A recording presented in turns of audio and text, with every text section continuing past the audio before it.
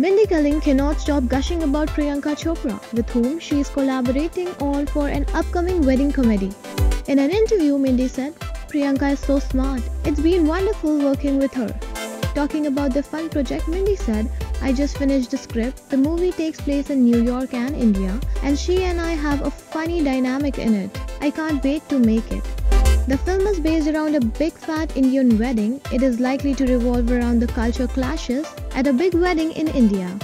At the moment, Kaling is enjoying spending time with family amid the coronavirus pandemic.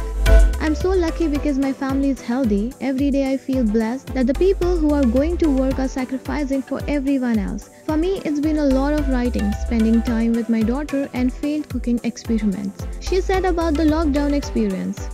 On the work front, Kaling got rave reviews for her coming of age comedy series Never Have I Ever about an Indian teenager growing up in the US. For the show, she has tapped into her relationship with being Hindu and the experience of straddling the lines of two cultures to narrate the story of 15 year old Devi, a first generation Indian American, and her desperation to feel that she belongs to the society.